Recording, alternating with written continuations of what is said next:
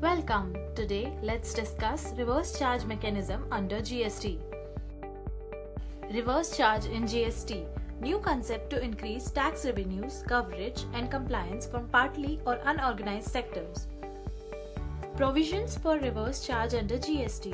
Invoicing rules, registration under reverse charge, composition scheme under GST.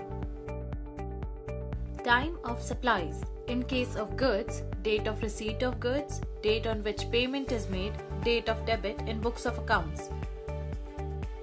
In case of services, date of receipt of services, date on which payment is made, and date of debit in books of accounts. Self invoicing. Invoicing done on behalf of the unregistered suppliers.